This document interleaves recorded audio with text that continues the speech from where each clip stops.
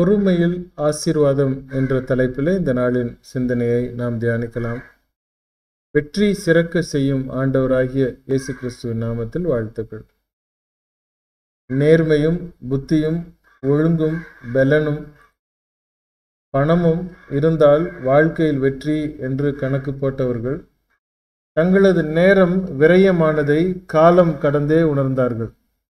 இவை ஒன்றுமே இல்லாமல் நோஞ்சானாகவோ ஏழையாகவோ ஒன்றும் அறியாதவனாகவோ எல்லா சூழ்நிலையிலும் ஒடுக்கப்பட்டு இருந்தாலும் முழங்கால் படியிட்டு தேவனிடத்தில் ஒப்பு கொடுத்து ஜபத்தையும் விசுவாசத்தையும் இரு சிறகுகளாக்கி காத்து இருக்கும்போது முற்றிலும் புதிய பலனோடு எல்லாருடைய பார்வைக்கு முன்பாகவே கழுகுகளைப் போல நாம் உயர கொண்டு செல்வார்.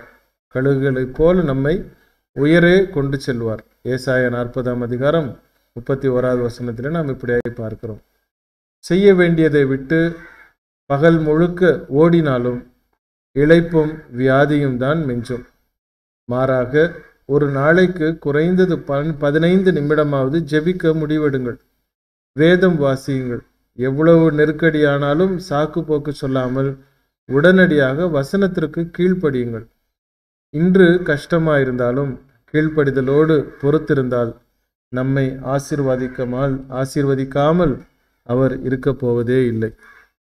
எடுக்கிற தீர்மானமும் கீழ்ப்படிதலும் இன்று உங்களுக்கு கஷ்டமாயிருந்தாலும் கீழ்ப்படிதலோடு பொறுத்திருந்தால் நம்மை ஆசீர்வதிக்காமல் அவர் இருக்கப் போவதே இல்லை. கர்த்தருடைய ஊழி நெடி ஜோயில் சில்ஸ்பி கிறிஸ்துவன் சபை கன்னியாகுளம் தேவன் தாமே நம் ஒவ்வொருவரையும் ஆசீர்வதித்து வழிநடத்துவாராக. ஆமேன்.